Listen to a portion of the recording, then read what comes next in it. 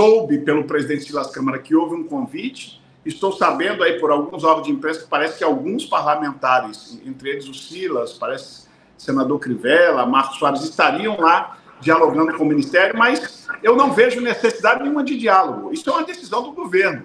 Ou o governo é, ajuda o segmento religioso do país, tirando essa, essa dúvida que paira é, aos auditores da Receita Federal, ou o governo prefere deixar os auditores à sua livre interpretação. Eu não acho que nós temos que ir lá conversar com o governo nenhum. Isso é um problema do governo, não é um problema nosso.